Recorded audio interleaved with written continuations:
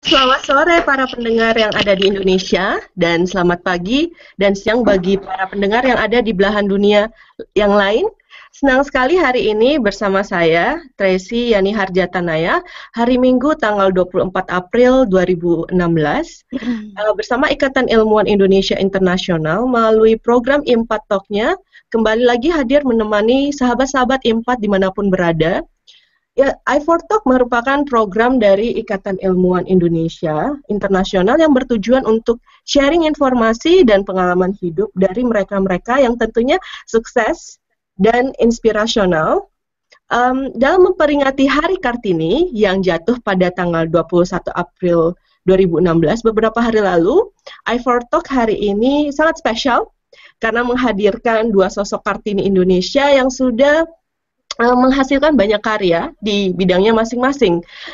Sebelum kita mengenal lebih lanjut kedua pembicara kita hari ini, saya ingin mengingatkan bagi yang ingin berpartisipasi dan bertanya, boleh langsung kirimkan pertanyaannya melalui Facebook page I4 atau melalui website I4 uh, dan acara i4 Talks ini juga akan disiarkan di Radio PPI Dunia um, dan juga Rapid Radio PPI UK juga bekerja sama dengan PPI Perancis. Jadi bagi sahabat-sahabat IMPAT yang mungkin sedang berada di luar dan internetnya mungkin kurang kuat untuk mengikuti um, video streaming, bisa untuk mendengarkan siarannya melalui website dari Radio PPI Dunia dan uh, Rapid yaitu um, Radio PPI UK.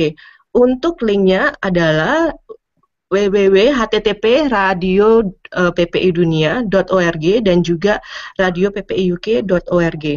Oke, baiklah. Saya, saya yakin semuanya pasti udah penasaran. Mohon maaf sebelumnya karena siaran ini agak telat 30 menit karena ada kesalahan gangguan teknis dan sebagainya.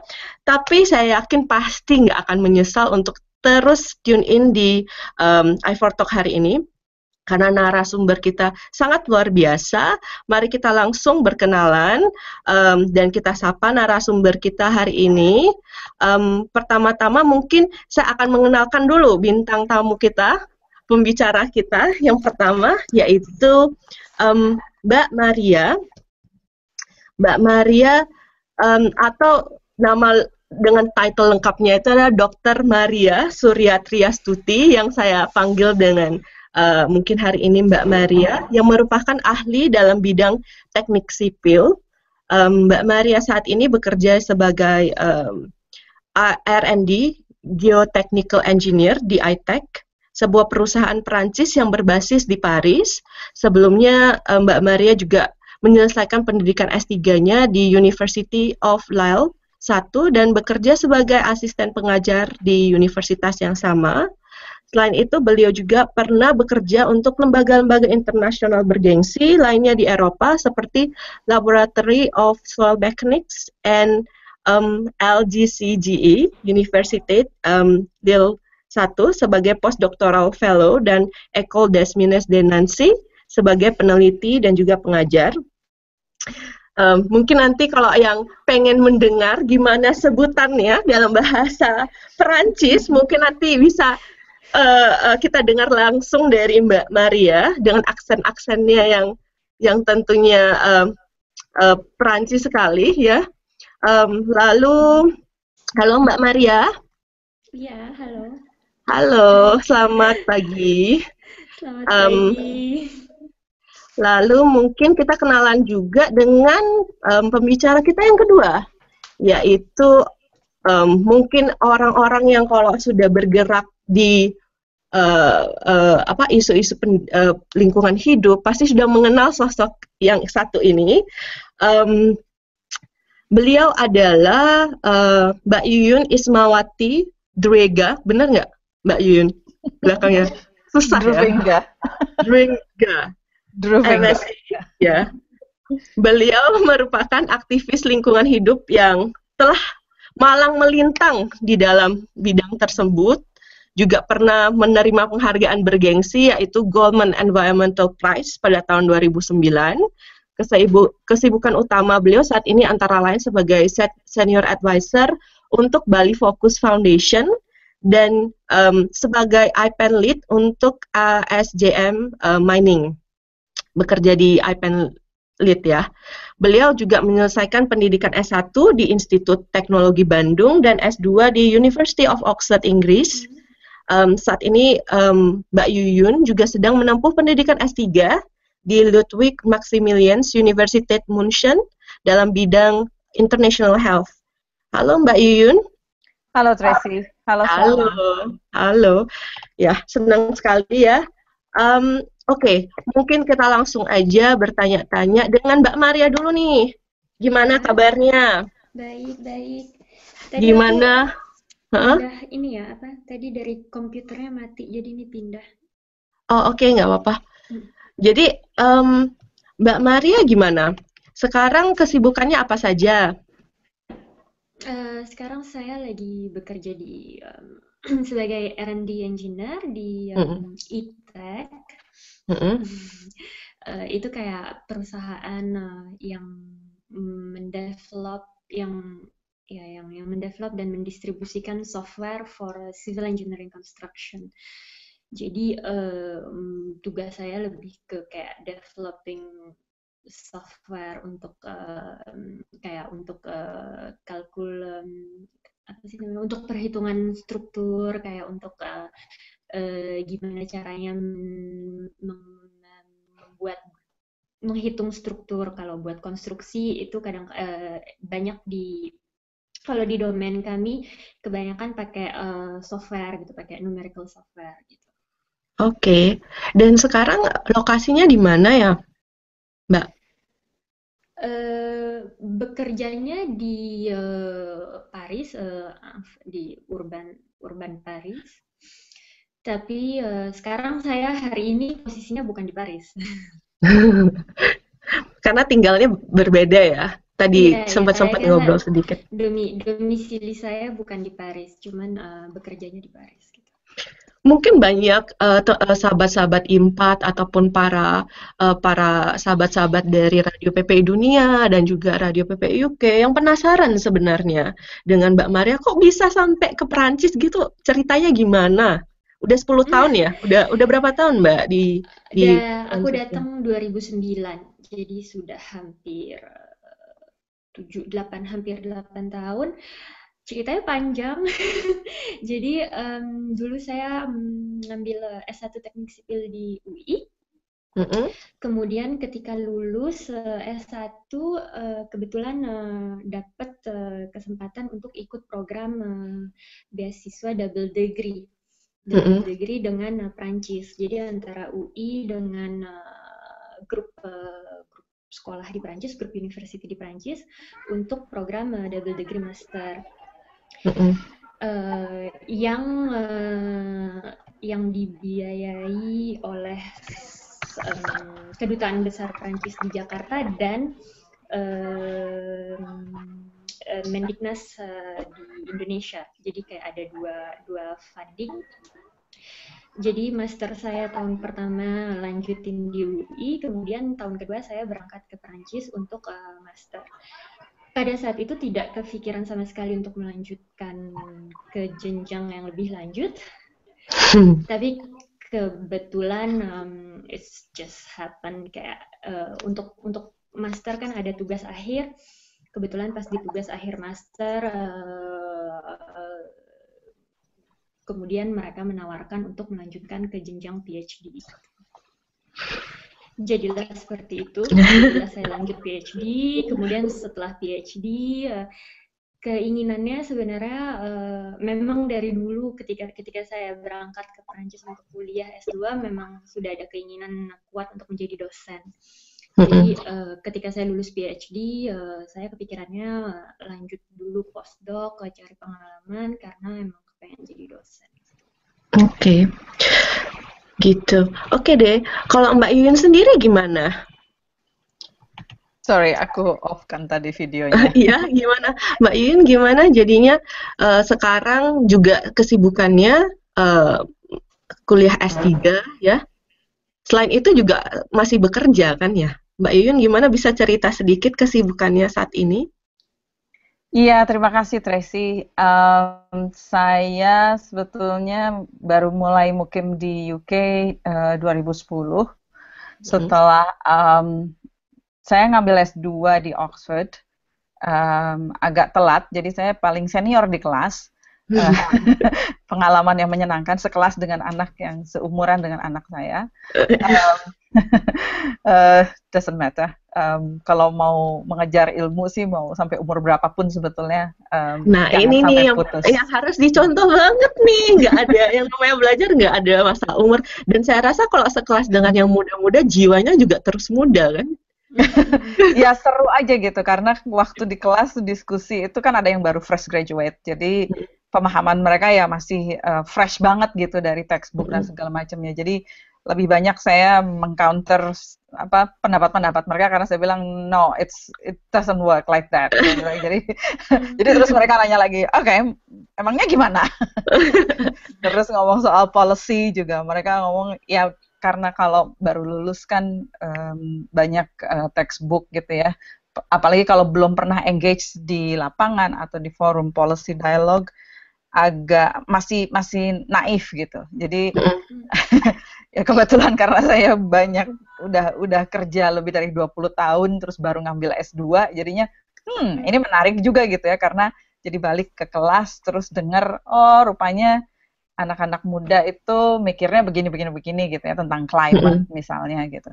Jadi yang menarik itu pengalaman menarik tahun 2010 sampai 2011 kemudian um, karena anak saya juga ngambil uh, apa namanya level di Oxford, saya harus nungguin dia sampai dia lulus. Terus ya nggak sengaja ketemu sama suami saya yang sekarang. Aduh, saya single parent romantis ya. 10 tahun. Belum ketemu dia lagi. nggak sengaja ketemu, terus jadi ya ya udah jadi akhirnya menetap di sini. Tapi sebetulnya saya 50-60% eh, waktu saya adalah untuk LSM saya sendiri. Jadi hmm. saya bikin LSM dari tahun 2000. Um, basisnya di Bali, headquarternya, headquarter. Um, terus setiap tahun saya setiap tiga bulan sekali saya ke Indonesia um, karena ada beberapa project. Uh, tapi saya juga kerja atau berafiliasi untuk um, LSM Network Global, namanya IPEN, International POPs Elimination Network. POPs itu singkatan lagi. POPs itu adalah Persistent Organic Pollutants. Um, hmm. Jadi kimia-kimia um, yang yang bersifat uh, yang persisten dan susah dihapuskan, tapi juga berdampak panjang uh, berakumulasi dalam tubuh kita. Dan uh, lewat IPEN ini juga um, saya banyak uh, terlibat dalam policy dialogue, um, terutama di forum internasional. Ada beberapa conventions yang saya ikuti, Stockholm, Rotterdam, Basel, um, SciChem, Strategic Approach to Chemicals Management, kemudian yang paling terakhir ini adalah Minamata Convention, mm -hmm. Mercury. Jadi Ya gitu aja. Wah, sekali ya kegiatannya ya. Kita bisa melihat um, Mbak Yuyun, baik Mbak Yuyun ataupun Mbak Maria, dua-duanya itu sebenarnya intinya mereka walaupun berkeluarga juga masih berkarya tetap gitu ya. Nah mungkin saya ingin ke Mbak Yuyun dulu nih sekarang.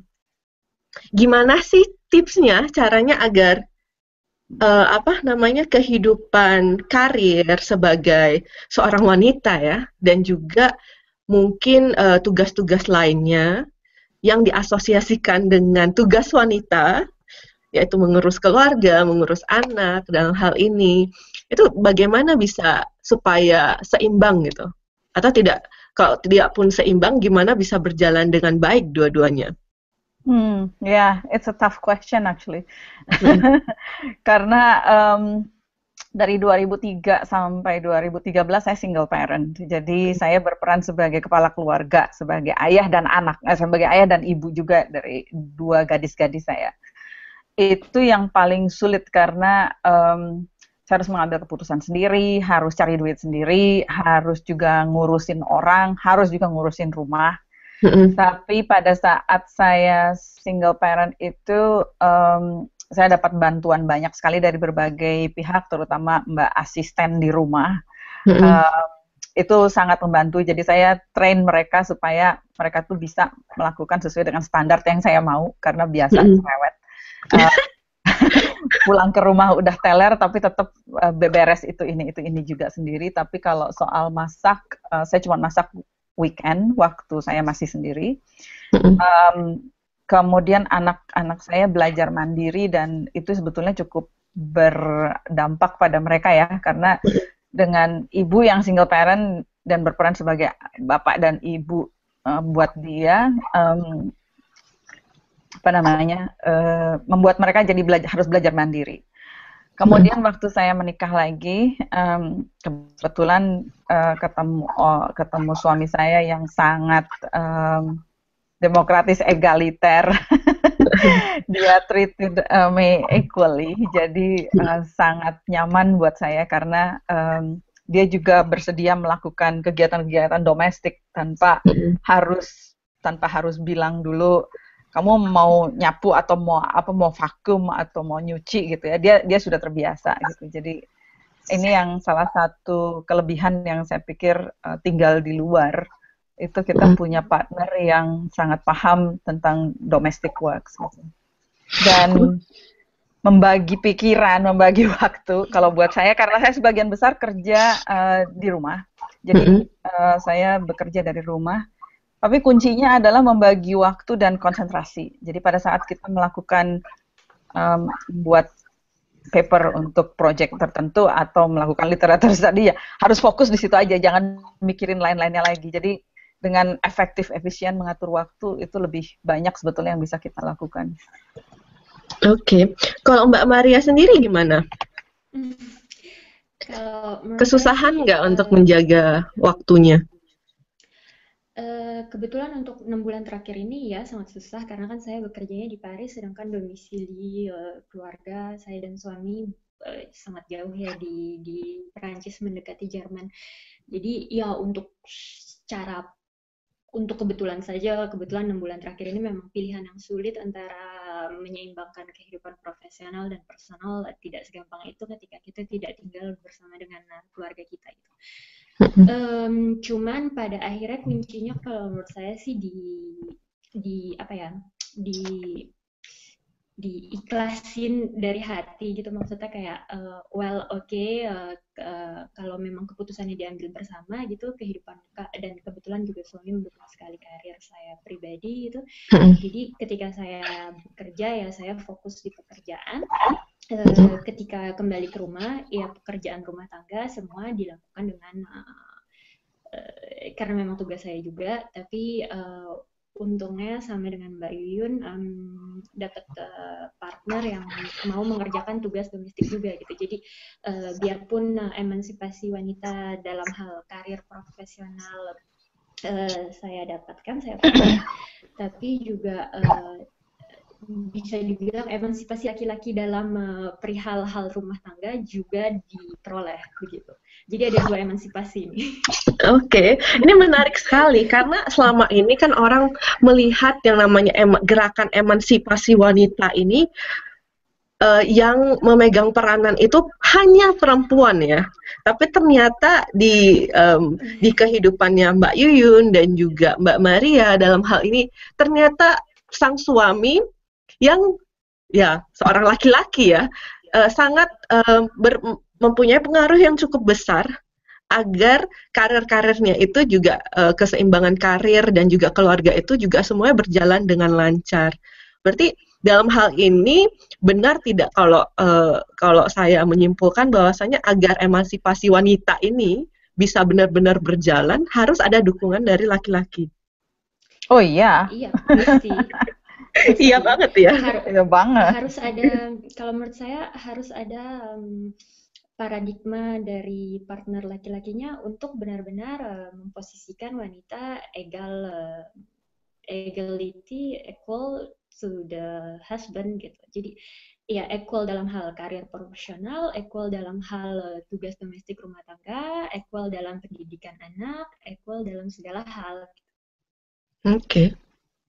Um, kalau misalnya ada nih yang melihat, oh iya uh, kalau di kehidupannya Mbak Yuyun dan juga Mbak Maria mungkin emansipasinya itu ya didapatlah dari orang-orang sekitar jadi sudah ada support system yang bagus gitu ya.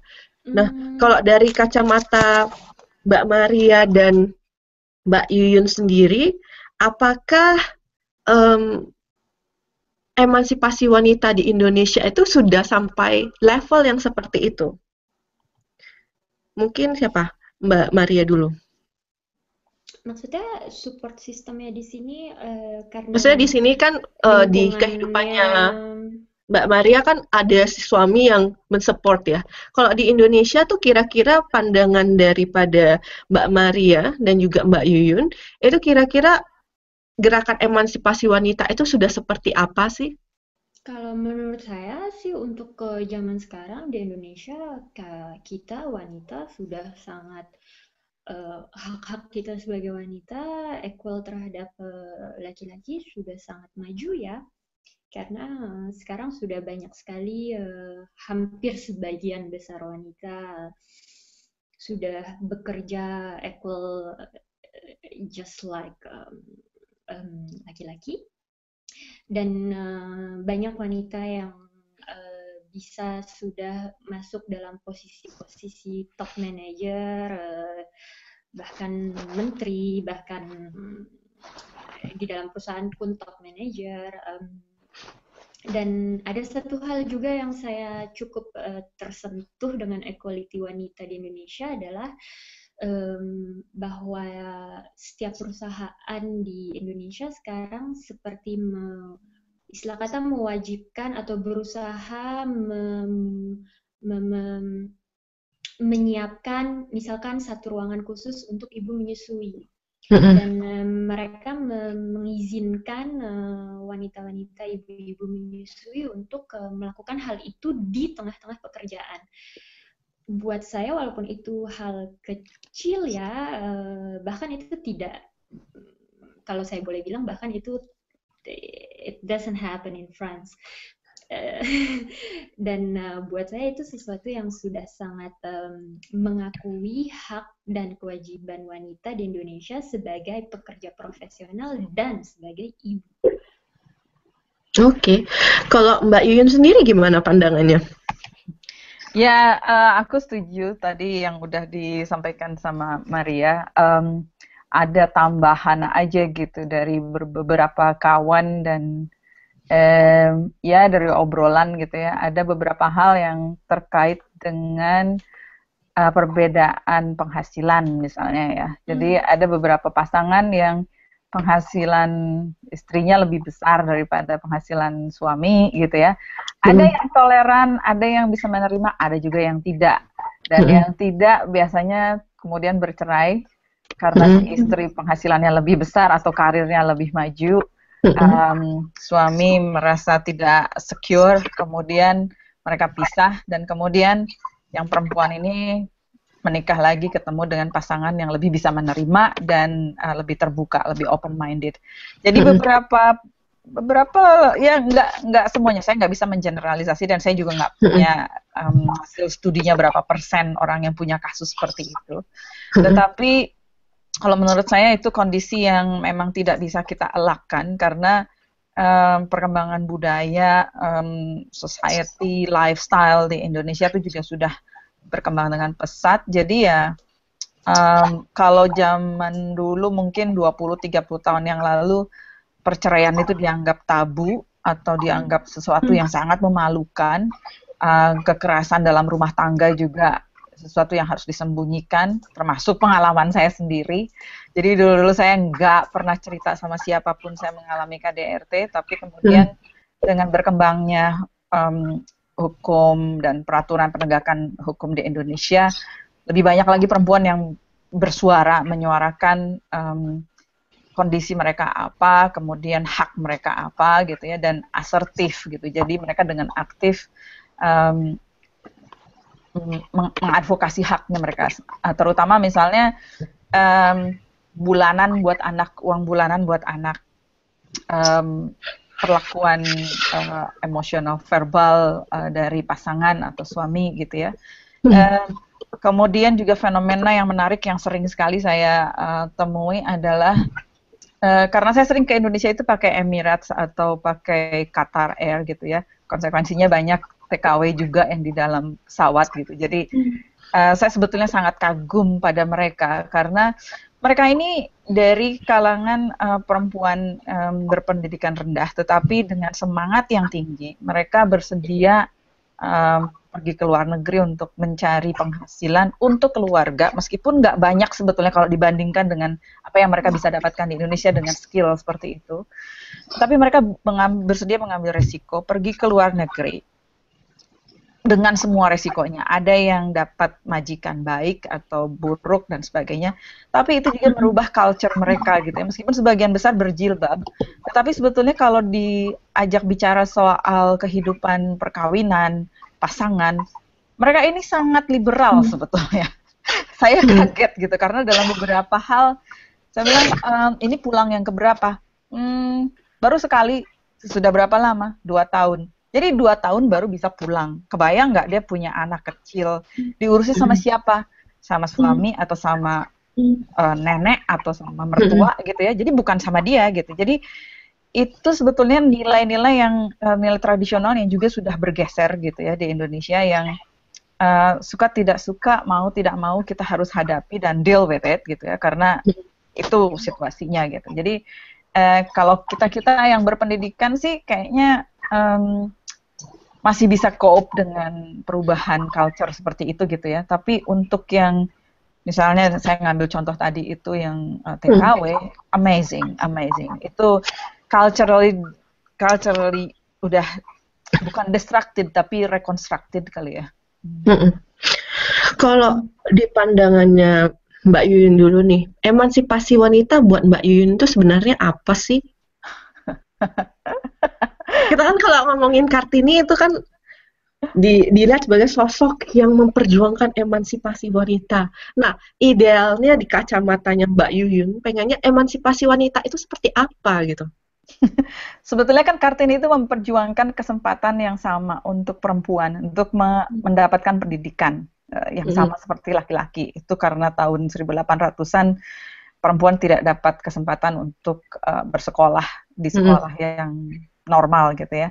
Mm-hmm. Uh, sebetulnya memang kuncinya dari kesempatan bersekolah, kesempatan mm, mengalami atau menerima pendidikan formal. Mm-hmm. Itu satu gitu. Jadi um, yang kedua uh, emansipasi itu atau equality yang diperjuangkan di Indonesia adalah uh, posisi-posisi atau kesempatan bekerja ya. Jadi kesempatan bekerja, kesempatan berkarir, Uh, saya nggak tahu, um, saya juga nggak punya risetnya uh, perbedaan uh, salaries dari CEO hmm. perempuan dibandingkan CEO laki-laki. Tapi kalau yang saya baca selintas di global juga masih ada perbedaan itu gitu ya. Jadi um, soal uh, meskipun dia bisa perform dengan um, um, kualifikasi yang sama dengan CEO laki-laki, tetap aja gaji itu masih ada perbedaan gitu. Um, hmm Kemudian uh, emansipasi atau persamaan hak yang sebetulnya masih gampang-gampang susah diperjuangkan di Indonesia adalah uh, hak untuk mengurus anak atau uh, hak dan kewajiban untuk mengurus anak. Saya merasakan sendiri gitu dengan dengan um, traditional culture dan um, awareness yang kita punya gitu ya. Kebiasaannya memang perempuan yang harus ngurusin anak 100%. Um, mau dari mulai cebokin sampai dengan ngasih makan gitu. Tapi uh, sebetulnya dengan berinteraksi dengan komunitas di luar, um, society di US, di Europe, uh, di negara yang maju, mereka betul-betul sudah uh, menyamakan hak dan kewajiban ibu dan uh, ibu dan bapak. Jadi kewajiban seorang ayah dan kewajiban seorang ibu terhadap seorang anak itu sama ada paternity paternity leave, ada maternity leave, ada joint leave juga. Jadi saya merasa ini yang kita di Indonesia itu kita nggak nggak belum banyak lah ya. Ada beberapa perusahaan yang mungkin sudah mengizinkan paternity leave uh, laki-laki kalau istrinya melahirkan, tapi ada juga yang enggak gitu. Jadi uh, itu yang kalau menurut saya di Indonesia ini kita masih uh, kurang ya Tapi kalau di luar enak banget, apalagi di Jerman, buset saya bilang lu bisa cuti sampai 2 tahun kayak begitu dan tetap masih bisa pegang pekerjaannya dia nggak di nggak dipecat gitu ya. Um, kemudian yang laki-laki juga cuti saya katanya dua minggu paternity leave. Wah enak banget. Itu yang kalau menurut saya itu yang membuat orang jadi berpikir harus bertanggung jawab kalau punya anak. Jadi mm -hmm. bukan bikin anak banyak anak banyak rezeki aja gitu yang dipikir gitu ya. sebagai apa alat kerja sebagai dianggap sebagai calon buruh keluarga gitu ya. Itu kan sebetulnya norma-norma yang udah udah um, sekarang bertransformasi dan transisi ke ke situasi yang baru gitu. Oke, okay. kalau untuk pandangannya Mbak Maria sendiri gimana? Emansipasi, Emansipasi wanita ya? nih, bagi Mbak Maria. Ya, kalau menurut saya mungkin saya termasuk beruntung ya karena saya belum pernah semenjak saya lahir merasakan perbedaan hak gitu maksudnya sebagai dilahirkan sebagai wanita hmm, sebenarnya secara jujur secara pribadi saya belum pernah merasakan sama sekali didiskriminasikan karena saya wanita dan uh, saya rasa ya itu sangat uh, peran besar dari Ibu Kartini yang membuat kita wanita-wanita uh, yang lahir besar di era sekarang bisa bersekolah bisa merasakan kesempatan pendidikan bersama hingga event hingga perguruan tinggi dan hmm, salah satu yang sekarang saya rasakan sedang diperjuangkan oleh wanita-wanita Indonesia adalah uh, bersekolah hingga jenjang yang sangat tinggi gitu hingga akhir mungkin dan itu yang saya lihat uh, sedang sangat diperjuangkan oleh wanita-wanita Indonesia uh, bahwa bersekolah hingga jenjang S3 untuk wanita yang bukanlah suatu promosi sendiri tapi juga sebenarnya pendidikan anak ke keluarga dan kalau dia bersekolah tinggi yang hal-hal itu yang Halo Mbak Maria. Suaranya agak terputus-putus. Halo. Halo. Halo Mbak Maria. Pang pingpong ya. Ya, iya. Iya, kayaknya koneksinya agak sedang turun jadi kayak breaking. Mungkin saya ke Mbak Yuyun dulu ya, uh, sambilan kita menunggu koneksi dari Mbak Marianya stabil kembali. Um, untuk Mbak Yuyun sendiri nih, um, tadi kan sudah cerita banyak ya tentang uh, sebenarnya realita di Indonesia itu sudah ada perkembangan dalam artian emansipasi wanita nih. Tapi juga masih ada eh, hal-hal uh, yang tidak boleh kita tutup mata bahwa itu terjadi. Masih ada diskriminasi dalam hal ini. Misalnya tadi perbedaan pendapat di tempat kerja dan juga uh, perbedaan uh, apa uh, hak asuh anak bukan perbedaan hak asuh anak tapi siapa yang mengasuh anak dan sebagainya sebenarnya yang menjadi hambatan atau halangan terbesar dari tercapainya uh, persamaan ini apa menurut Mbak Yuyun?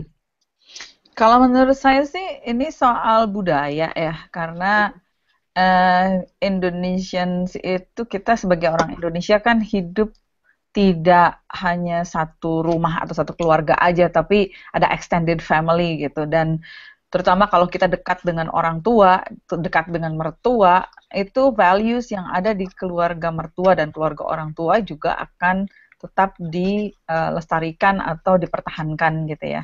Uh, kalau kita punya uh, mertua dan orang tua yang cukup moderat itu alhamdulillah banget gitu karena mereka bisa hmm. mengerti kenapa uh, kita dan pasangan kita punya um, cara hidup atau gaya hidup yang berbeda dengan keluarga si orang tua gitu. Jadi um, dan kalau orang tuanya gaul atau cukup baca uh, dan aware gitu ya bahwa ya zamannya udah berubah gitu. 20 tahun yang lalu dengan sekarang 20 tahun yang lalu aja dengan sekarang udah beda banget gitu. Jadi tahun 80-an keluarga nilai keluarga tahun 80 dan orang yang baru menikah sekarang gitu itu beda banget ininya uh, cara berpikirnya.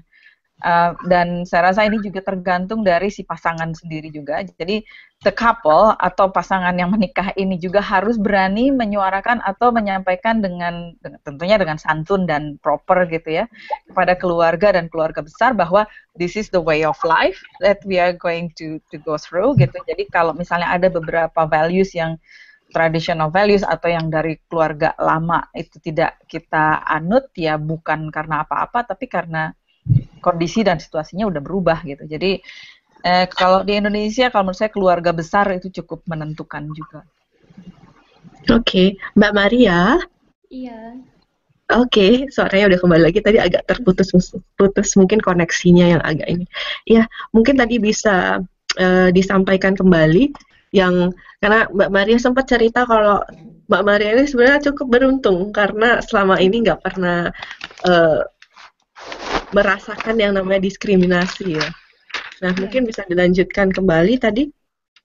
Iya, tadi saya cerita uh, bahwa kalau secara pribadi saya sebagai um, sosok yang dilahirkan sebagai wanita, saya belum pernah hingga sekarang sejujurnya belum pernah merasakan uh, diskriminasi kepada wanita dan itu semua ya berkat uh, perjuangan Ibu Kartini yang uh, berusaha memberikan uh, kesempatan yang sama terhadap wanita untuk bersekolah.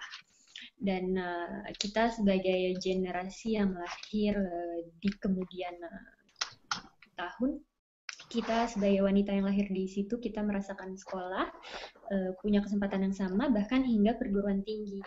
Dan yang saya lihat sekarang Eh, perjuangan istilah kata hal-hal yang masih sangat diperjuangkan oleh wanita Indonesia adalah supaya wanita bisa bersekolah hingga jenjang yang sangat tinggi yang paling akhir jenjang S3 uh, eh, di mana mereka juga tetap melaksanakan uh, kewajibannya sebagai ibu rumah tangga. Karena banyak wanita yang berjuang hingga S3 tapi juga sudah mempunyai keluarga.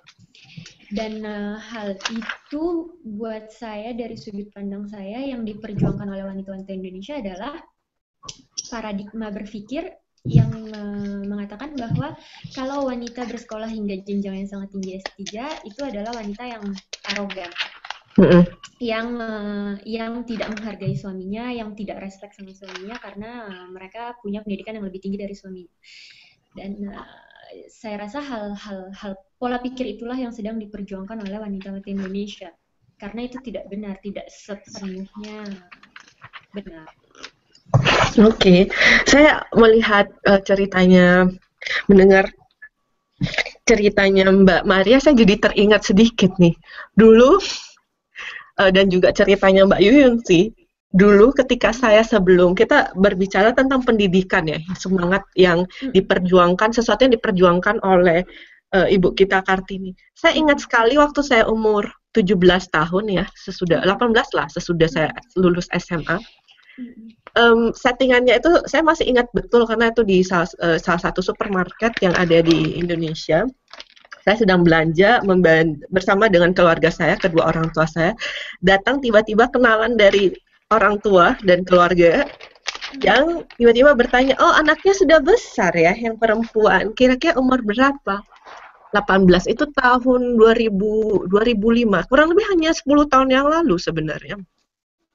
Ditanya jadi uh, rencananya mau ngapain. Jadi kebetulan waktu itu karena saya mendapatkan beasiswa untuk kuliah di Inggris, ya orang tua saya bilang, ayah saya mengatakan anak saya akan kuliah di Inggris. Lalu ada satu statement yang dibuat yang sampai sekarang saya masih ingat betul gitu. Dia bilangnya, ya ngapain kirimin anak perempuannya ke Inggris, habisin waktu, habisin dana besar-besar gitu ya, walaupun dapat beasiswa tapi dianggap habisin dana dan yang paling penting ya ngapain kirimin sampai jauh-jauh gitu nggak takut hmm. anaknya bakalan bakalan jadi apalah gitu ya di hmm. di luar sana tapi yang paling penting statementnya itu adalah ngapain jauh-jauh dikirim keluar hmm. karena nanti juga toh akan menikah dan akan berakhir di dapur gitu Iya, iya, itu itu statement yang sama Padahal yang Tracy senang di dapur.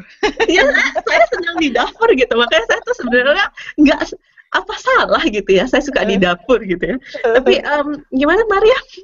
Iya, itu statement yang sama yang saya dapatkan ketika saya memutuskan untuk melanjutkan S3 di Hmm. usia yang masih sangat eh, muda gitu. Karena saya langsung kan ya dari S1, S2, S3 itu langsung gitu. Dan dan ketika mm, tadinya saya ke Perancis hanya untuk S2, kemudian mendapatkan tawaran S3 dan eh, seperti yang Mbak Yuyun bilang, keluarga besar kan sangat berpengaruh ya dalam eh, dalam kultur Indonesia dan eh, sebagian besar mempertanyakan mau ngapain sih kamu S3 Hmm, iya. mau ngapain? Gitu. Emang mm, istilah kata em, nanti kamu meritnya telat loh. Eh, susah loh cari pendamping like that. hidup kalau udah Iya, S3 something like that gitu. Tapi untungnya kebetulan eh, orang tua saya sangat sangat eh, terbuka ya, sangat berpikir terbuka dan kebetulan karena mereka juga dalam bidang pendidikan eh, sebagai dosen juga, jadi sangat mengerti keinginan saya untuk menjadi dosen dan untuk menjadi dosen harus me- harus menempuh eh, harus menempuh dulu pendidikan S3 dan pada akhirnya ketika orang tua saya setuju, keluarga besar juga setuju. Tapi saya eh, punya kasus teman yang sangat sangat seperti ceritanya Mbak Yuyun sangat eh, jadi teman yang dari S1 S2 bareng ke Prancis dan mendapatkan kesempatan tawaran yang sama untuk S3 tapi dia benar-benar stuck dengan eh, keputusan orang tua dan keluarga besar yang tidak mengizinkan dia untuk S3 Wow. karena tidak kamu pulang kamu nikah Wow. Hmm. Eh, Iya. maksudnya bukan bukan nikah langsung juga ya karena belum ada calonnya juga pada saat itu cuman tidak kamu jangan buang-buang waktu istilah kata seperti itu dan itu sangat well eh, some- ya se- sangat agak agak agak agak mengejutkan saya aja gitu. Cuman ya kadang memang kadang memang ada suatu kul ada sesu- sesuatu yang tidak bisa kita eh, istilah kata ubah begitu saja gitu dari pola pikir. Itu butuh waktu gitu untuk mengubah Hmm. pola pikir eh, kultural seperti itu. Begitu. Iya tapi memang tapi memang menarik sekali ya. Ternyata kalau semakin digali ternyata ada aspek-aspek kecil yang mungkin tuh tidak begitu ya bukan masalah besar lah bukan seperti kebijakan dan tidak memperbolehkan wanita untuk bersekolah gitu ya. Tapi ini sesuatu yang sebenarnya ada komentar-komentar kecil tuh ya yang seperti ya ngapain sekolah S3 jauh-jauh? Nanti ujung-ujungnya balik ke dapur gitu ya. Atau ngapain sampai sekolah S3 nanti susah cari pasangan lama menikah Iya, lama punya iya. anak dan sebagainya gitu kan. Tapi itu em, ya kita eh, berikan kepada sahabat-sahabat IMPAT dan teman-teman dari Radio PPI Dunia dan Radio PPI UK untuk untuk mempunyai opini sendiri apakah itu sesuatu yang signifikan untuk diperjuangkan atau ya ya itu bagian dari kultur dan sebagainya. Karena em, mungkin em, cerita sedikit tadi karena Mbak Yuyun udah kenal lama jadinya bilang oh Tracy padahal suka di dapur ya. Jadi sebenarnya saya nggak tahu saya nanya kepada Mbak Yuyun deh sama Mbak Maria salah nggak sih? Emangnya kalau orang S3 habis itu juga memasak di dapur apakah itu memang harus ya kamu S3 dan karir terus? Ya enggak. Ya udah ya udah. Kan orang kan selalu berpikirnya seperti itu kan ya. So, Two different things. yang lulusan S3 yang bekerja full time itu nggak pernah di dapur nggak pernah ngurusin Really? rumah nggak pernah. Wow. ah, No, Mbak Yuyun not kayaknya really udah udah udah pasti nih pasti udah banyak opini yang ini sampaikan gimana Mbak Yuyun? Not Wah, aku sendiri masih ngosek kamar mandi sendiri. aku masih nyuci, aku masih masak di dapur. Jadi waktu kapan hari ya, aku WhatsAppan sama temen ada grup WhatsApp tertentu lah. Aku banyak ikutan grup WhatsApp. Um, terus aku bilang, Gaul banget makanya nggak kelihatan ya, nggak kelihatan yang paling tua ini kayak. ntar dulu ya, aku harus masak dulu nih. Aku bilang soalnya ini bagianku masak. Aku terus mereka ketawa, Mbak Yuyun masak katanya. And so what? Gue bilang, gue seneng masak. Gue bilang gitu ya. Udah gitu pas lagi WhatsAppan sama siapa lagi gitu. Gue bilang bentar ya, mau ke pasar dulu. Aku bilang gitu. Soalnya nih setiap Selasa ada farmers market di sini. Jadi Mm-mm. aku harus belanja dulu sama suamiku yang bawa tas belanjaan ya suamiku gitu. Em, terus temanku bilang, hah? Mbak belanja sendiri? Lalu pikir siapa ya? Kadang-kadang pertanyaannya itu buat mereka tuh hah ke pasar? Masih belanja? Oh ngosek kamar mandi. Oh masih ngosek kamar mandi sendiri. Lah terus siapa? Karena mungkin kalau di Indonesia mungkin masih bisa lah ya. Ada iya, yang kalau di Indonesia kan kita kebiasaan mbak, segala gitu ya. macem gitu kan sama si mbak. Hmm. jadi em, ya aku bisa ngerti itu. Tapi em, kalau tadi pertanyaan Tracy apakah orang yang udah S3 nggak boleh masak? Ya nggak juga sih. Ka- kalau menurutku itu dua hal yang berbeda ya. Jadi gelar akademisi atau status dengan apa yang kita lakukan keseharian it's two different things gitu. Jadi orang tidak seharusnya seseorang tidak mengasosiasikan level edukasi dia dengan kehidupan pribadi atau rutinitas hari sehari-hari gitu. Itu enggak enggak ada tuh urusannya enggak ada gitu. Jadi em, lu mau S3 kayak mau S2 kayak lu mau dokter spesialisnya ada lima kayak spesialis kulit kulit apa kanker dan kelamin dan segala macamnya gitu ya.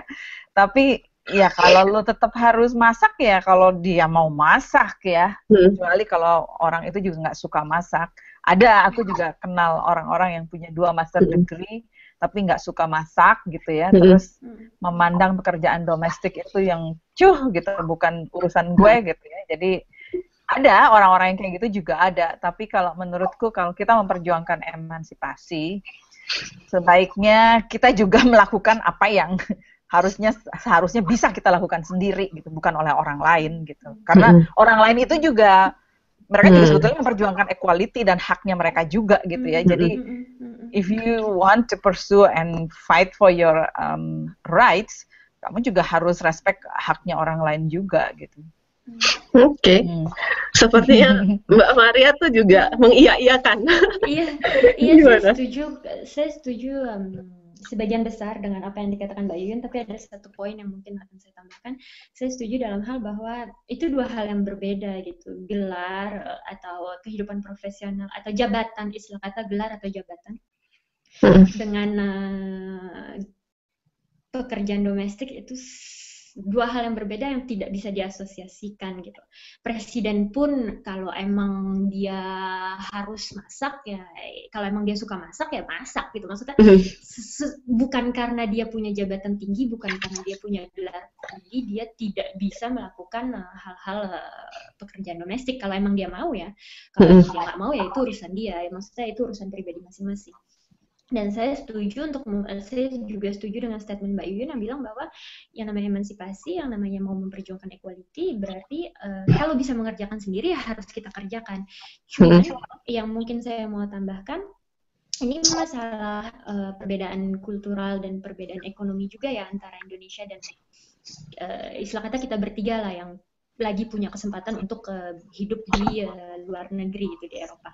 Karena mm, saya banyak berdiskusi gitu dari dari dari dari sejak saya tinggal di Prancis gitu.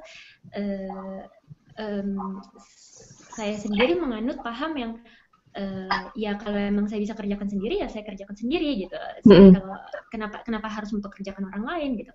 Kebetulan kalau di Eropa kita juga tidak punya tidak punya dana untuk mempekerjakan orang lain karena itu sangat mahal. Kebetulan sangat beruntung. Tetapi kalau di Indonesia eh, di sisi lain orang-orang itu juga membutuhkan pekerjaan itu untuk membantu Ya, ya, Hmm. ya. untuk membantu. Jadi eh, bisa dibilang itu apa ya? Bisa dibilang itu kayak saling kebutuhan satu sama lain ya, Ah, saling memanfaatkan ya.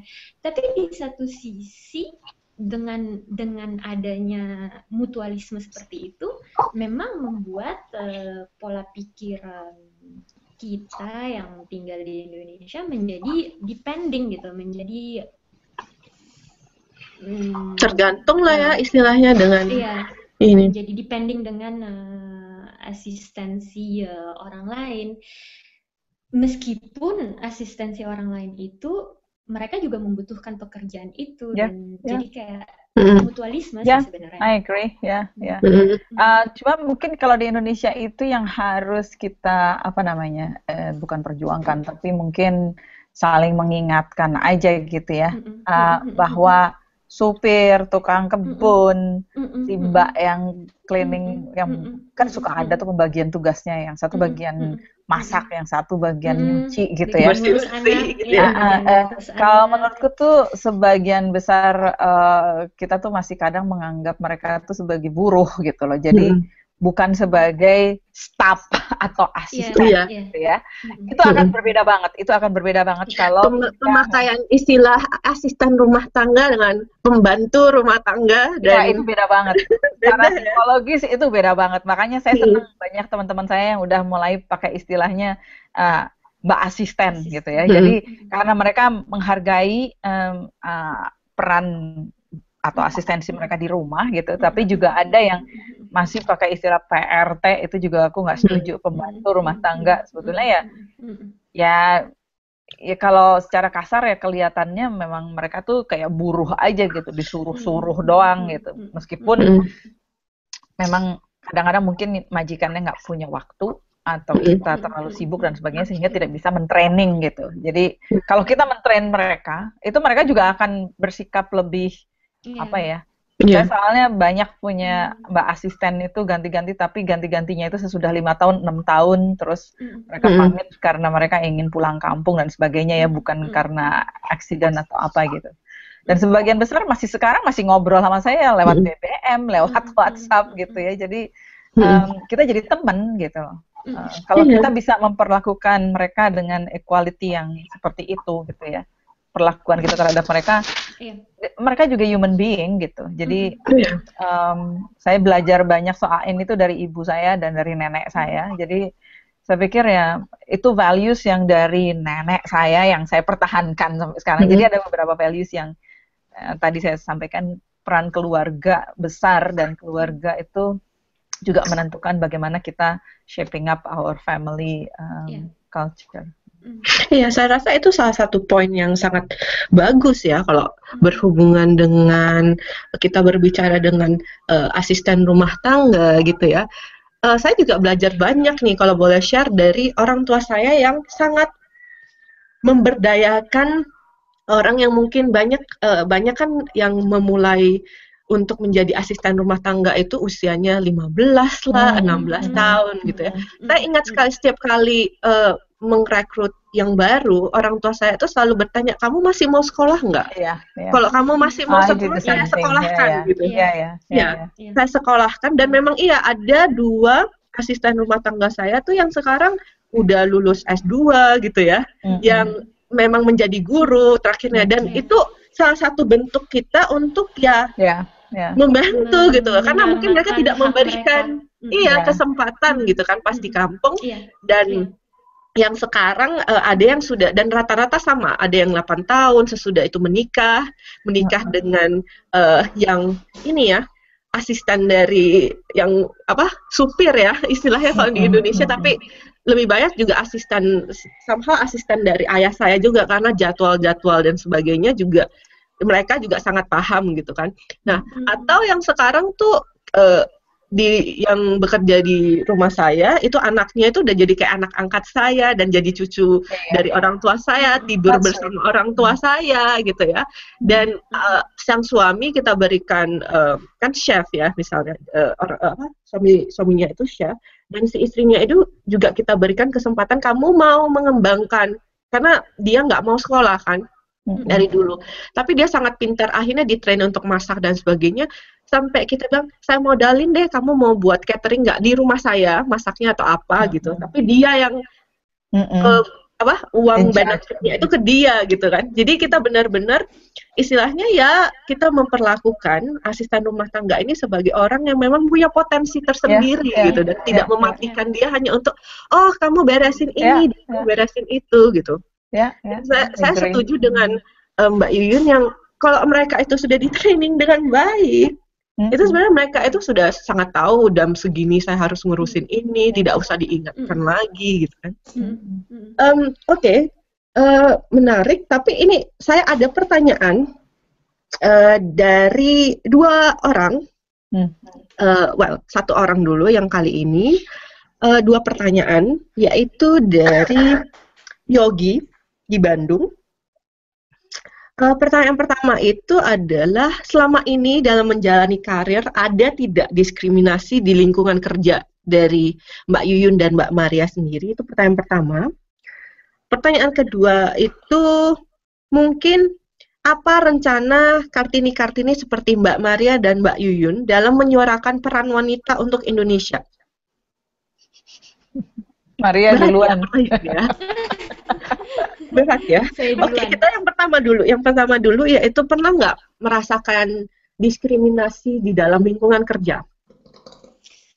Um, saya lagi berpikir, lagi mengingat-ingat uh, diskriminasi sebagai wanita karena saya engineer ya diskriminasi sebagai iya, wanita. Iya, itu pertanyaan engineer. yang salah kepada engineers. itu kayak makanan sehari-hari gitu ya, maksudnya kayak well, tapi bukan diskriminasi juga sih, mungkin hanya pandangan sebelah mata gitu.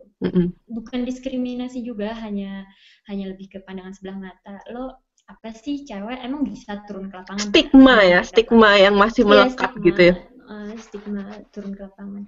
Mungkin kalau yang saya alamin sendiri diskriminasi, bukan diskriminasi, diskriminasi juga ya. Uh, untuk memperjuangkan karir di Eropa sebagai foreigner itu uh, bukan sebagai wanita ya, justru sebagai foreigner lebih ke sebagai foreigner tidak semudah itu. Tapi bukan bukan diskriminasi juga, hanya memang ada hal-hal secara hukum yang mereka lebih memberikan kesempatan dan logically true gitu ya memberikan kesempatan dulu kepada warga negara negaranya dulu warga negara Eropa baru setelah itu warga negara dunia lain saya bisa mengerti itu walaupun memang secara psikologik merasa sedikit didiskriminasikan. Mm -hmm. ya karena tapi di sisi lain karena yang jadi engineer kebanyakan laki-laki ya dunianya itu kan uh, di, terkesan sebagai dunia laki-laki Mbak Maria di sana pasti paling cantik kan? Karena kebanyakan yang kebanyakan yang bekerja laki-laki enggak? Kalau di di kantornya. karena saya engineer tapi lebih ke engineer dalam bidang research development uh, Iya, memang banyak yang lebih laki-laki dan uh, sedikit yang foreigner juga, jadi kayak hmm. diskriminasinya kayak dua Double sisi ya? gitu. Tapi lagi-lagi ya, itu itu lagi-lagi ya, itu bukan diskriminasi, bukan cuman kayak lebih ke hmm. pandangan sebelah mata aja gitu once you show your capabilities gitu it's over gitu. Nggak ada nggak ada diskriminasi lagi gitu. Kayak hmm. oke okay, memang memang memang uh, dia mampu gitu. Pandangannya hilang. Tapi sebelum itu ketika baru masuk oke okay, cewek oke okay, foreigner nah itu tuh. Kesan pertamanya hmm. masih kayak ada ada pandangan sebelah matanya gitu. Oke okay. kalau mbak Yuyun sendiri gimana? Kalau aku sih um, uh, gimana ya? Um, waktu. Hang on. Aku coba on kan lagi. Um, ya hmm. karena aku juga engineer um, di ITB kuliah yang nggak ada diskriminasi perempuan laki-laki ya. Um, waktu itu sih kita perempuannya sekelas mungkin uh, 15 orang dari 45 jadi 30 persennya perempuan di kelasku ya uh, environmental engineering uh, department. Tapi tahun dua, 25 tahun kemudian 80% perempuan. Hmm. Karena dianggapnya environmental engineering itu uh, topik yang gampang hmm. buat perempuan. Jadi bukan ya memang tergantung dari pilihan pekerjaannya nanti di lapangan seperti apa gitu ya. Tapi kalau hmm. aku sendiri waktu baru lulus terus kerja nggak ada diskriminasi rasanya ya karena aku nggak nggak pernah ngalamin yang ada itu diskriminasi pada saat aku jadi single parent. Hmm. Hmm. Apalagi tinggal di Bali, culture-nya berbeda gitu. Jadi diskriminasinya itu udah perempuan, direkturnya LSM, dia single, Islam, pusing kan? Jadi gue mau ngomong apa juga, lu udah anomali dari beberapa kriteria gitu. Jadi iya, susah banget. juga, tapi sebenarnya. Uh, Terus juga waktu aku apply untuk kredit untuk kredit rumah karena aku perempuan single parent susah banget. Itu harus meyakinkan dia bahwa untuk meyakinkan orang bank bahwa aku mampu aku bakal mampu membayar cicilan. Ah itu harus dapat um, affidavit atau support dari referensi dari satu dua tiga orang yang yang meyakinkan menjamin bukan menjamin juga tapi meyakinkan bahwa aku akan bisa membayar cicilannya.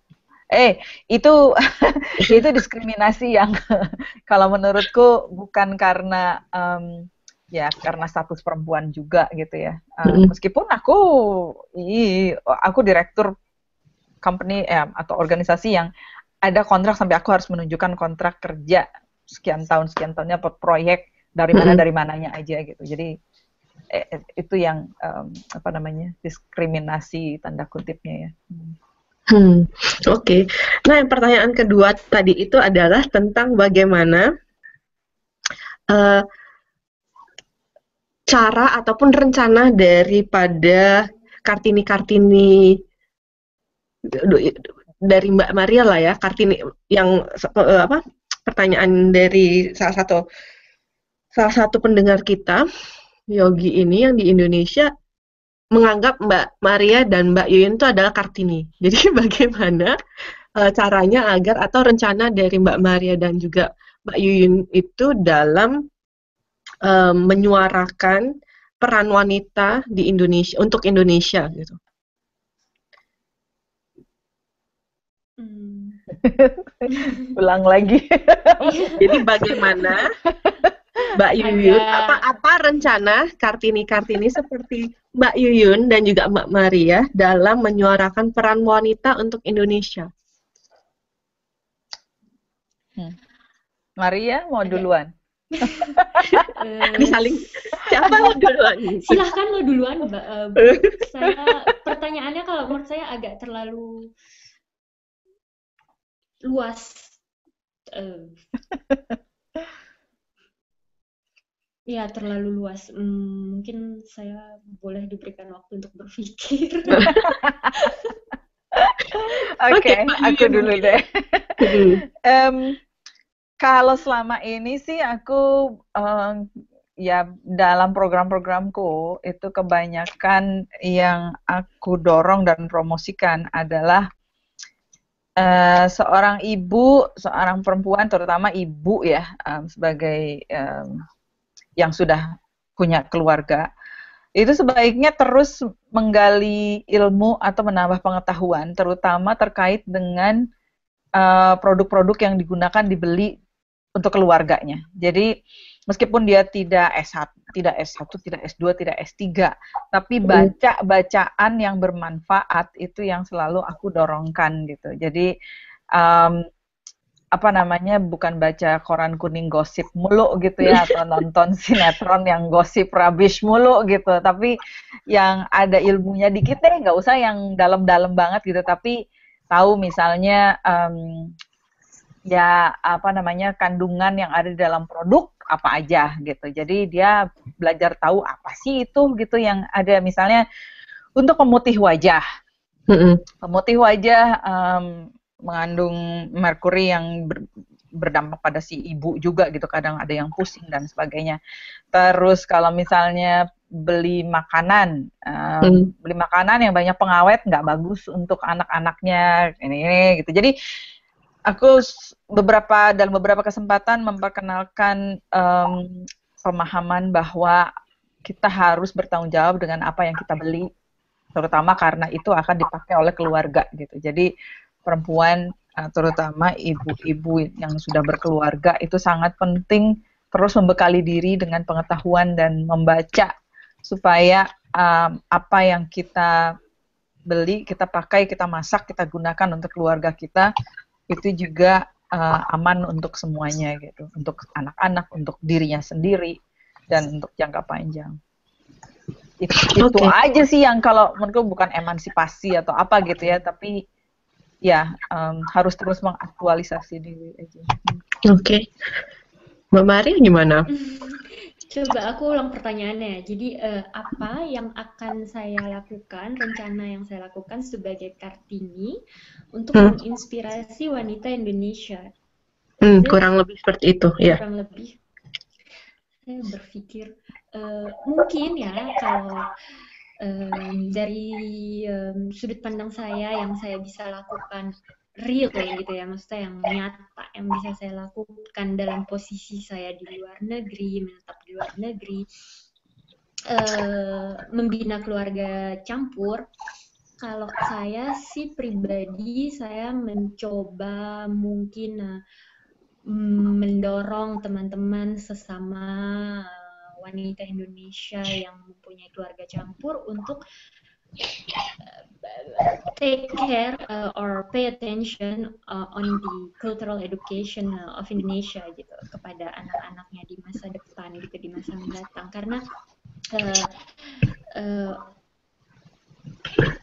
mendidik itu bukan sesuatu yang mudah juga bukan sesuatu yang gampang. Terutama saya merasakan sendiri gitu mengajarkan bahasa Indonesia itu tidak mudah gitu. Memperkenalkan dan mengajarkan bahasa Indonesia itu tidak mudah. Dan uh, saya memproyeksikan untuk ke depannya bahwa dari kultur-kultur dari segi bahasa, dari segi cerita rakyat, dari segi uh, sejarah misalkan Ibu Kartini, unsur-unsur uh, itu harus bisa saya masuk masukkan ke dalam keluarga campur saya dan saya harapkan juga uh, bisa mendorong teman-teman saya yang lain juga untuk me merealisasikan hal itu di dalam keluarga masing-masing. Mungkin itu yang salah satu yang saya bisa pikir itu yang paling nyata, yang paling dekat yang bisa saya lakukan. Oke. Okay. Ini ada pertanyaan ya dari Leli yang berada di Medan.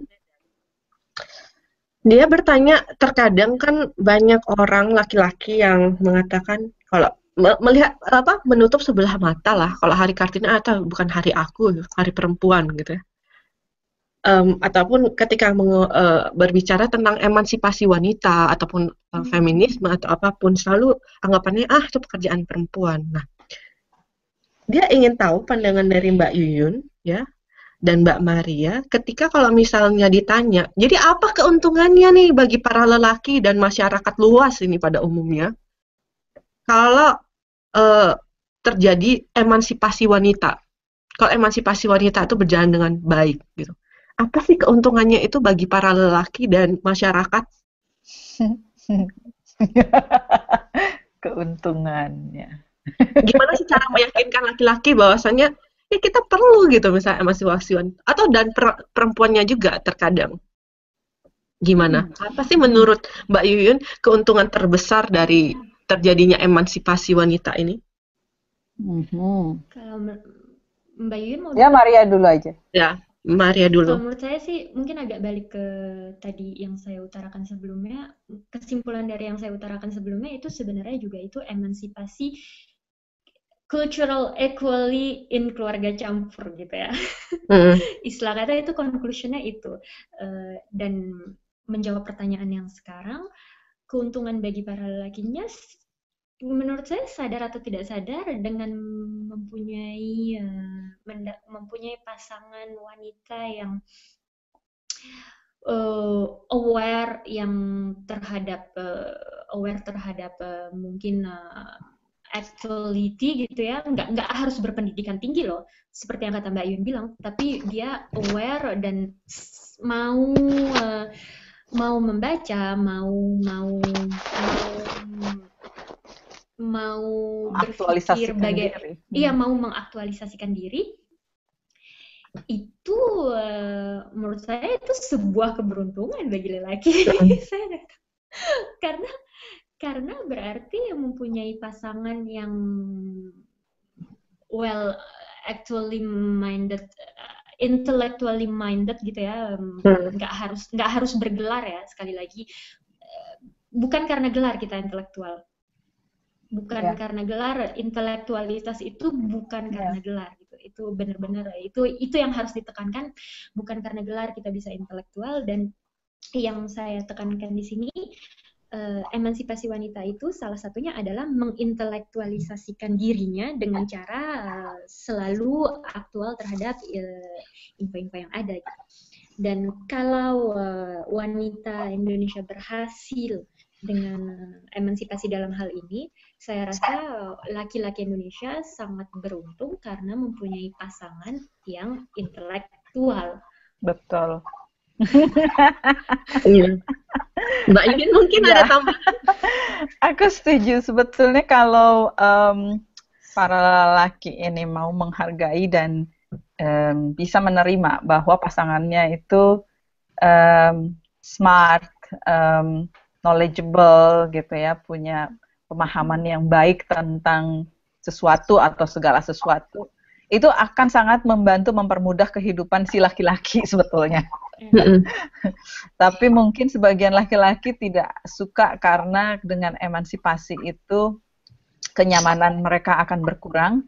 Tetapi kalau dilihat em, dari sisi sebaliknya, misalnya sekarang eh, laki-laki akan diminta dengan emansipasi dan dorongan emansipasi perempuan, bapak juga harus ngurusin anaknya.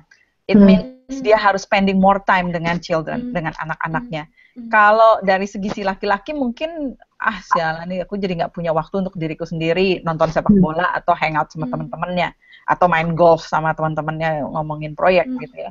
Tapi kalau emansipasinya jalan, kemudian yang laki-laki juga uh, bisa menerima itu, dia sisi positifnya sebetulnya bisa meluangkan waktu lebih banyak dengan anak dengan anak-anaknya yang tadinya mungkin cuma ketemunya seminggu sekali ini bisa lebih rutin karena dia bisa ngobrol sama anaknya meskipun mungkin tidak terlalu uh, dalam atau bukan quality talk gitu ya tapi dia bisa berkomunikasi sama anak-anaknya lebih lebih sering tinimbang uh, menerapkan uh, apa pemahaman bahwa semua ibu yang harus ngurus gitu tanggung jawab ibu atau tanggung jawab istrinya.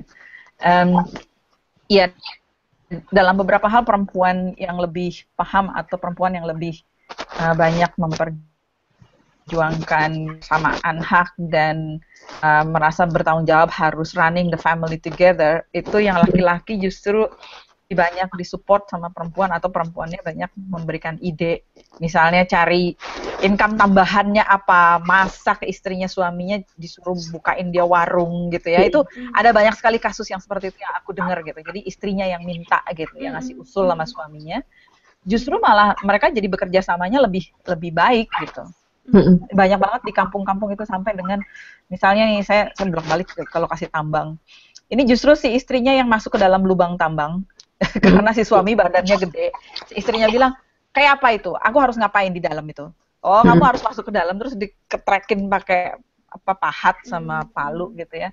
Terus dicariin bongkahan-bongkahan batunya. Dia dikasih tahu diajarin sama suaminya ini uratnya yang ada mengandung emasnya yang seperti ini nah itu yang harus kamu cari akhirnya si istrinya bilang dia lebih jago daripada si suaminya. Dan suaminya bisa menerima itu bahwa dia bilang istri saya sekarang lebih jago dari saya bu karena dia lebih ngerti gitu. Tapi on the other side uh, kalau kita yang nggak bisa menerima ih gila si istrinya disuruh turun si bapaknya di depan ongkang di atas lubang aja ongkang-ongkang gitu ya. Tapi kalau kita ngelihat dari perspektif they are okay with that. Oke. what gitu loh. Kalau mereka bisa sama-sama menerima gitu ya. Ya wah bisa banyak Oke. cerita lagi Mungkin ada satu pertanyaan terakhir sebelum pertanyaan dari saya ya. Ini ada satu pertanyaan dari Yeni di Semarang yang ingin men- menanyakan tentang yang tadi kita bicarakan itu kan ada sosok wanita yang sosok wanita yang emansipasi ya, yang dalam artian emansipasi atau modern dalam hal ini adalah yang bekerja dan juga eh, bekerja di luar, meniti karir dan juga menjadi eh, ibu Ibu rumah yang tangga. ibu rumah tangga dalam hal ini. Bagaimana dengan wanita-wanita yang memilih untuk menjadi wanita rumah tangga? Apakah mereka juga apakah mereka itu bukan sosok wanita yang emansipasi gitu? Well, ibu rumah tangga itself is a career iya iya menurut saya. Oke. iya iya Jadi bu, eh, tidak tidak benar itu ya kalau pandangan orang-orang yang melihat bahwasanya emansipasi wanita, wanita yang yang diinginkan oleh ibu kita Kartini dan yang kita eh, bicarakan tentang persamaan eh, hak antara laki-laki dan perempuan itu harus gambarannya itu adalah wanita yang bekerja nah karirnya Em, ini Hmm. berada di luar misalnya tidak harus Hmm. seperti itu ya berarti ya.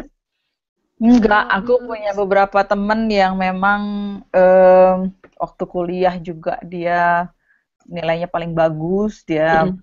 pelajar teladan gitu ya, tapi dia memutuskan jadi ibu rumah tangga, tapi dia punya anak empat dan karir suaminya bagus.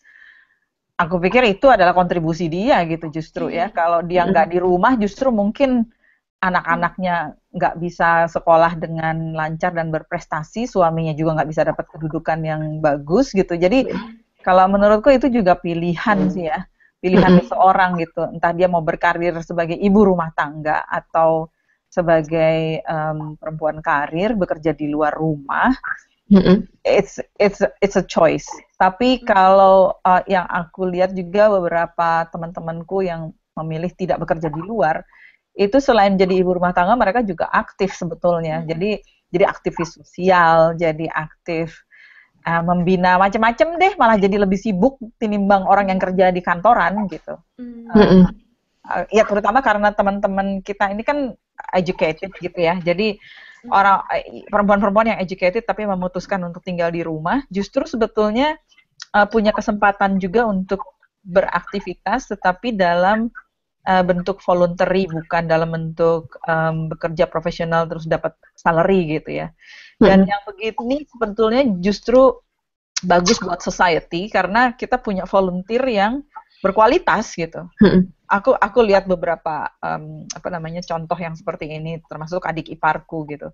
Dia dia malah jadi diundang jadi board sekolah gitu karena dia cukup Mm. sebagai orang tua murid dia cukup aktif dan dia tahu gitu loh. Kok anakku dikasih tugasnya ini ini ini. Jadi dia usul ke sekolahannya. Lama-lama Bu, ibu udah jadi board di sini aja gitu ya karena si ibu ini aktif kenalin eh nanti mau jadi pembicara saya kenalin ini deh. Saya kenal itu ini ini gitu. Jadi sebagai ibu rumah tangga fine um, I support itu um, pilihan seseorang gitu tapi kalau misalnya dia mau mengisi waktu lebih jauh lagi kalau mengisi waktu luangnya mereka juga bisa melakukan uh, banyak hal yang sebetulnya mungkin bisa tidak bisa diisi kalau uh, di- tidak bisa diisi oleh perempuan yang memiliki profesi atau karir. Oke, mungkin pertanyaan paling terakhir Nambahin dari saya ini ya. Oh, Ma- Mbak Maria mau tambahin? Oke, boleh. Iya mau nambahin eh, apa tadi eh, kalau menurut saya definisi emansipasinya harus dibenarkan gitu. Emansipasi itu kan Hmm, kesamaan pemberian kesempatan gitu menyamakan memberikan kesempatan yang sama kepada lelaki dan wanita. Kesempatan untuk pendidikan kesempatan untuk bekerja kita punya itu wanita punya itu kita sudah di dalam tahap itu.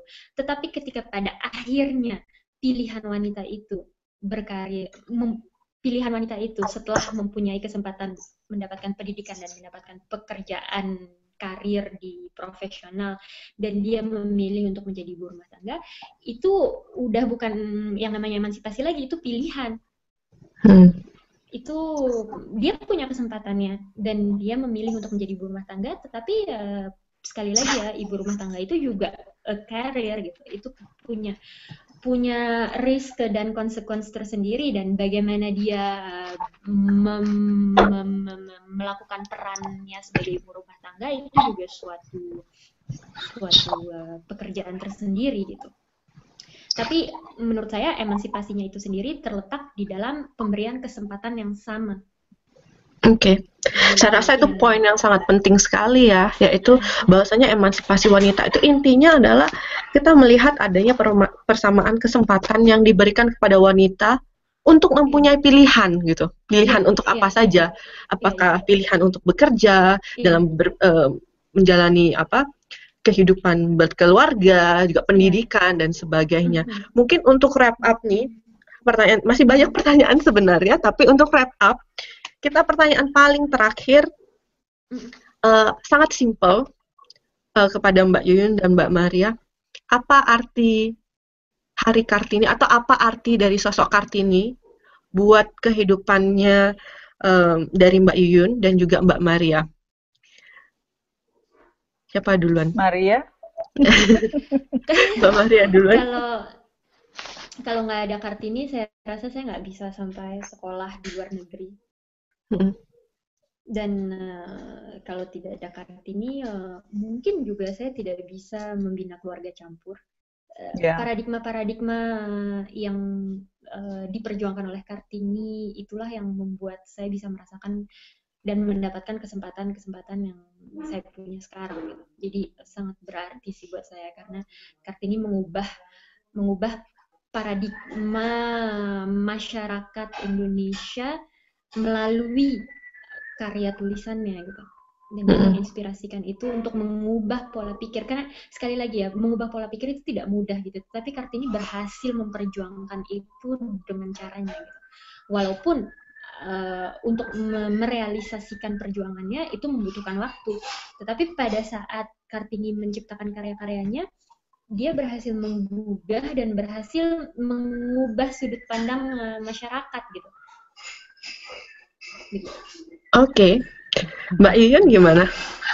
Ya, uh, kalau menurutku memang um, peran Kartini untuk menggulirkan um, isu emansipasi ini cukup besar ya. Aku nggak tahu apa yang akan terjadi kalau Kartini ini telat lahir atau telat dilahirkan atau telat uh, muncul gitu ya. Aku juga nggak tahu apakah aku akan punya kesempatan sekolah engineering atau enggak gitu ya.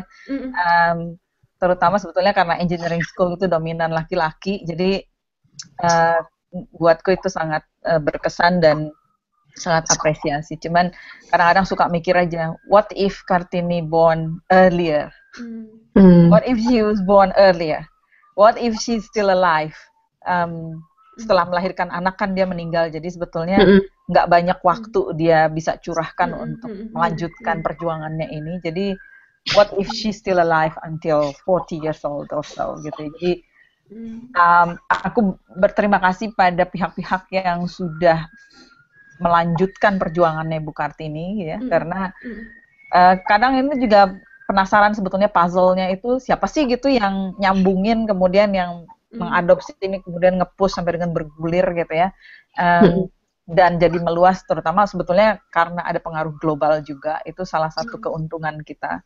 Uh, dan gerakan emansi perempuan secara global itu juga sesudah um, perang dunia kedua itu juga membuat um, apa namanya emansipasi di Indonesia itu juga uh, terdorong atau terangkat gitu ya. Cuman kadang-kadang suka mikirnya what if if she iya. alive yeah. more than 28 years old, what if she was born earlier than her her time. Just Iya, iya benar sekali sih.